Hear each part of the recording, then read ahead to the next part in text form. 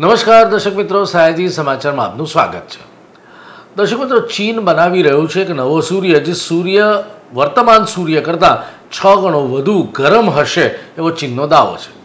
જો કે આ એક જોઈન્ટ મિશન છે. રશિયા પણ આ પ્રયોગ કરી ચૂક્યું છે. ફ્રાન્સ પણ કરી રહ્યું છે. અને ભારત પણ ભવિષ્યમાં કરે તો નવાય નહીં. પરંતુ આ સૂર્યથી જે ઊર્જા કદાચ પ્રાપ્ત થાય અને કોઈ અકસ્માત સર્જાય તો શું થાય એવો સવાલ. દિવ્ય દર્શન પુરોહિત નામના વડોદરાના આપણા જાણીતા વૈજ્ઞાનિકે પૂછ્યો છે. આ આર્ટિફિશિયલ સન ક્રિએટ કરી રહ્યું છે ચીન. અને ઓગણીસો પંચ્યાસીથી ચાઇનાના વૈજ્ઞાનિકોનો એક પ્લાન હતો. અને એના હેઠળ ઓગણીસો નવ્વાણુંમાં એક વધારે એક પ્રોજેક્ટ ડેવલપ કર્યો. અને એક આઈટીઈઆર કરીને ઇન્ટરનેશનલ થર્મોન્યુક્લિયર એક્સપેરિમેન્ટલ રિસર્ચ નામનો એક પ્રોગ્રામ ચાલે છે, જેમાં ભારત પણ સદસ્ય છે. ચીન છે, રશિયા છે, જાપાન છે, યુરોપિયન સંઘ છે. એ હેઠળ એવી એક, એવી પ્રવૃત્તિ કરવાનો પ્લાન છે કે થર્મોન્યુક્લિયર પ્રોસેસ એટલે કે પ્લાઝમાને ઉત્પન્ન કરીને બે અણુને સામસામે અથડાવીને ન્યુક્લિયર ફ્યુઝનથી વીજળી, વિદ્યુત અને એનર્જી ઊર્જા પેદા કરવી.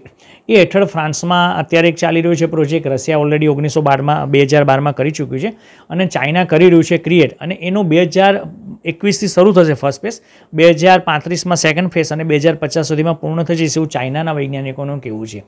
પરંતુ આ એક એવો પ્રોજેક્ટ છે કે જો તમે સૂર્યનું ટેમ્પરેચર ગણો તો સૂર્યનું તાપમાન અંદરનું, કોરનું two point seven million degree છે એટલે કે અઢી કરોડ તાપમાન. જ્યારે આ લોકો બસો મિલિયન ડિગ્રી સુધી એટલે કે seven times more than solar temperature એટલે સાત ગણું વધારે તાપમાન અંદર પેદા કરવા માગે છે. જો કે એ લોકો એવું કહે છે કે અમે પંદર મિલિયન ડિગ્રી સુધી એટલે કે દોઢ કરોડ ડિગ્રી સુધી લિમિટેડ રહીશું.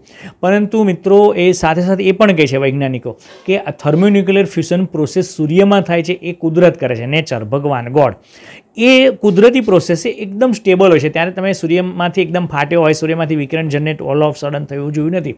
પરંતુ આ ઇનસ્ટેબલ હોય છે. મેન મેડ જેટલા પણ થર્મોન્યુક્લિયર ફ્રોસિયન પ્રોસેસ હોય છે, એ મેન ઇનસ્ટેબલ હોય.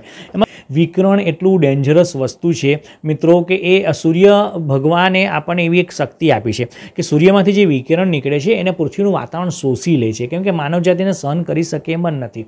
હવે એ વિકિરણને સીધી સાથે તમે એની સાથે ખેલ કરો અને જ્યારે લીકેજ થાય તો પાણીમાં ભળે, ભૂમિમાં ભળે, જમીનની અંદર ભળી જાય, માણસ અને જીવ માત્ર પ્રત્યે ફેલાઈ જાય, વાતાવરણમાં ભળે, અન્નની અનાજની અંદર ભળી જાય, તો આવનાર સમય માટે મોસ્ટ ડેન્જરસ ઘાતક સાબિત થઈ શકે.